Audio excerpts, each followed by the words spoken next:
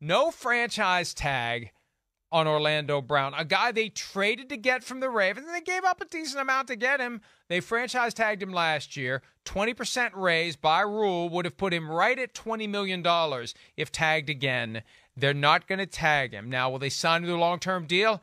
I don't know. Will they get somebody else? I don't know. But left tackles, not easy to find in today's NFL, as evidenced by the fact that they had to dra- a trade for Orlando Brown when they realized their offensive line was horrible and they needed help. So I don't know what they're going to do, Chris, if Orlando Brown ends up going somewhere else as a free agent. And I guarantee you there's going to be a team out there because this is an opportunity to tear down the Chiefs a little bit. Remember when, when free agency first started, the Super Bowl champions had to sit back in fear of Yeah, the reality right. that other teams were going to target their free agents to make that team worse. Why wouldn't someone offer Orlando Brown a premium just to get him off the Chiefs? I, I I I hear you there, and you know it, it's first off, you know Andy Reid, he's got an eye for the offensive line. We know that. It's like like we talk about with the Steelers sometimes with like their ability to find receivers.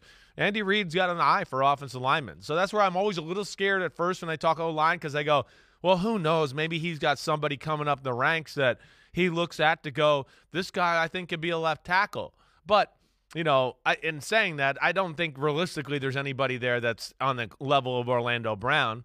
Orlando Brown is one of the better pass blocking left tackles in all of football.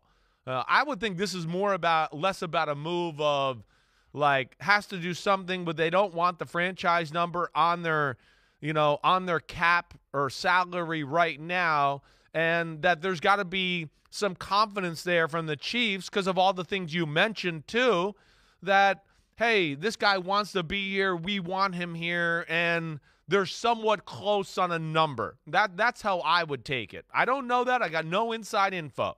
But, you know, I know there was the Orlando Brown thing yesterday and the Frank Clark thing yesterday.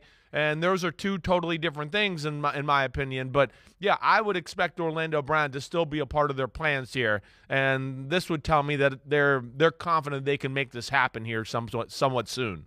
Excuse me. Well, and you know, here's the reality, and this is the other side of the coin that that you've been mentioning. Patrick Mahomes is going to be a draw for free agents who are available to come to Kansas City. He's also going to be a magnet that holds in place guys who are already there. Like, do I really want to go play for some slappy quarterback somewhere else when I got Patrick Mahomes making me look good?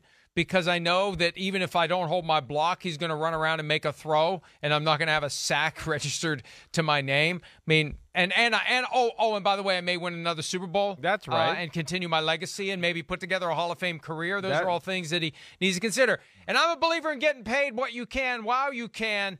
But the planets have lined up very nicely for some of these guys to be with Patrick Mahomes, and that that may change the analysis. Yeah, exactly. Uh, I, I think that's it. And you know, the, the, yeah, you're in a situation right there where, hey, uh, me, a guy that loves football, if I put myself in Orlando Brown Jr.'s, you know, shoes, those are some big damn shoes, let me tell you.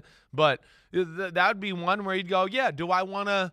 Do I want to go to some crap team and be the highest paid left tackle in football? Or do I want to be the third or fourth highest paid tackle in football and be in every big game known to mankind in, in the NFL over the next five to eight years? Right? That's what he's got a chance to be. And yeah, that's not easy. And I'm never telling anybody, like you're saying, what to do with their money. And we're all for them getting their money. And, you know, he deserves it. You know, you look at the list right now with guys like Laremy Tunsil making 22 million and Ronnie Stanley at 19, Trent Williams leading the market at 23 million. Yeah, he's in that class of player certainly every bit up there with a Ryan Ramczyk who's making 19 million or Brian O'Neill on- on your Vikings making 18 and a half. So I would think that there's going to be a number north of that that is spread out through a long, you know, time that lessens the blow on the salary cap. And yeah, this would be one, Mike, where you could file me under. I'd be shocked if he's not back with the Chiefs. Again, I have no inside info there, but that, that's just the, the way I feel and kind of reading the room. Hi, it's Mike Florio. Thanks for watching PFT on YouTube. Hit subscribe for the latest news and analysis from Pro Football Talk.